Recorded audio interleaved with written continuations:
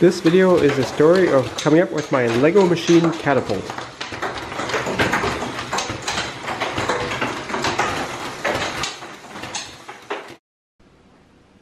I'm trying to make this catapult throw as far as possible.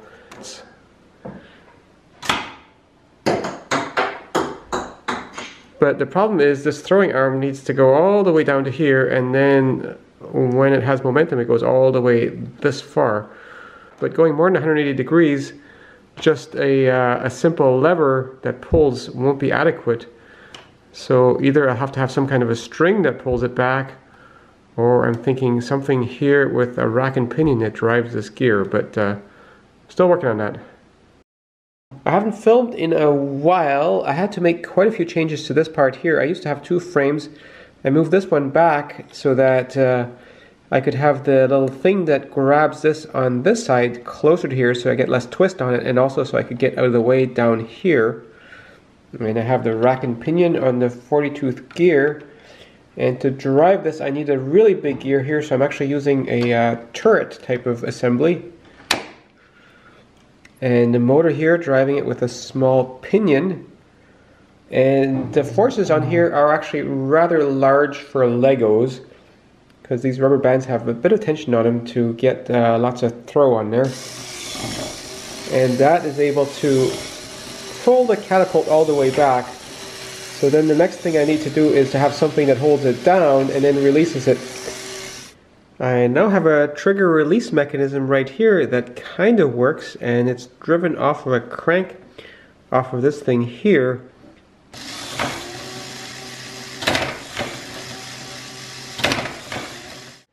These Lego Technic are turning out to be a very frustrating medium to design in.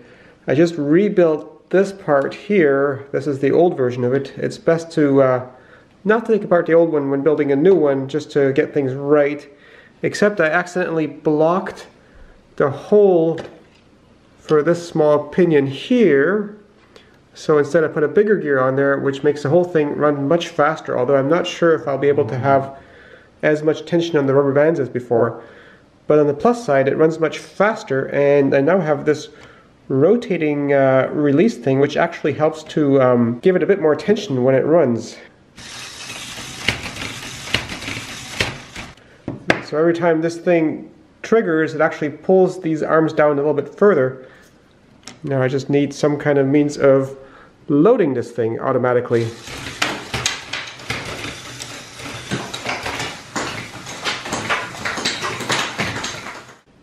My original idea for the uh, thing that loads it was to have a column of these caps in here and have a rotary thing that pushes them out one at a time like this. Except this is not fully debugged. But then I figured it would be better to have a bit more control over it so instead I used a slider. And once again the column of these caps. And that works much better. Although a frustrating thing is these caps are just a tiny bit bigger than about uh, five Lego units, so I actually had to uh, use a non-integer uh, amount of space here. So I have this shaft here, which allows me to adjust right there. Down here, I use this bit to uh, move this over by half a unit. And then this whole thing gets driven by this lever. There's a crank right here that's driven off of the uh, main shaft and clean that up. This should work right now. And it's important to get the phase just right. So down comes this, there comes the new load. And here's this thing holding it back now. And now this gear comes back, which allows this arm to swing freely for the release. And with the motor,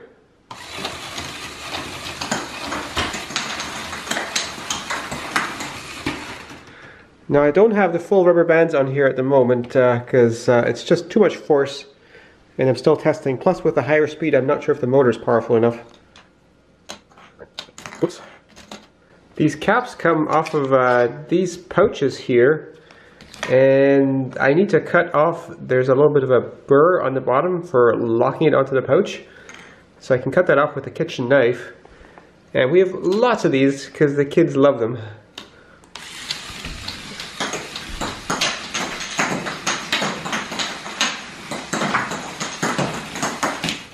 The way that this all goes together is kind of kludgy, so I'm trying to optimize this design by building the whole thing again. And here I've got these three gears in sort of odd positions, and instead I decided to come over here, right angle, right angle again, and then to here to the uh, release crank thingy.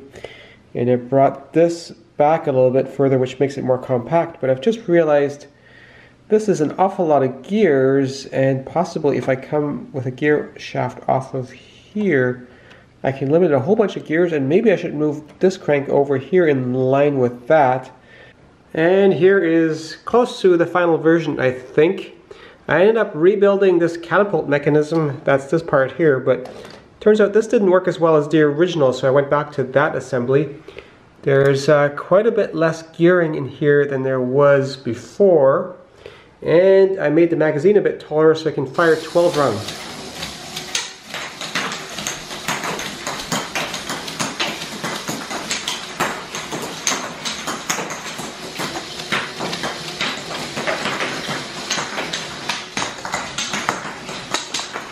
I'm proud of the fact that this machine runs fairly silently, other than jumping on the floor a little bit.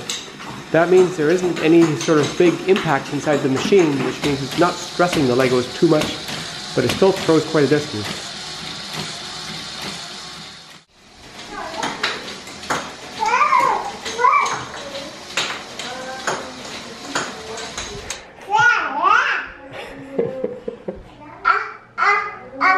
Let's do it again. Let's put these caps in here. Uh-oh. And on. Uh-oh. It jammed.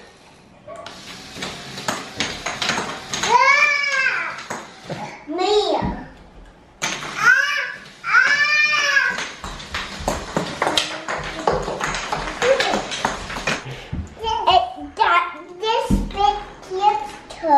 It needs to go in here, Kurt.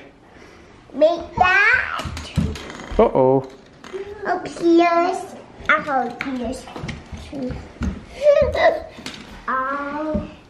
Okay, Kurt, your turn to turn it on.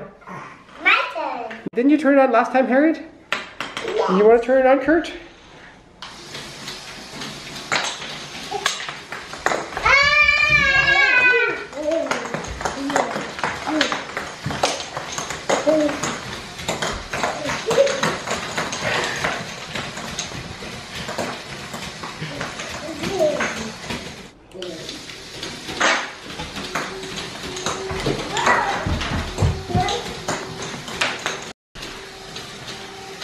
Oh no! You want to turn on the machine? Oh no! It... Uh-oh. This thing is not the sort of toy you want to let your kids play with unsupervised. Not because it's dangerous, but because it's finicky and easy to break.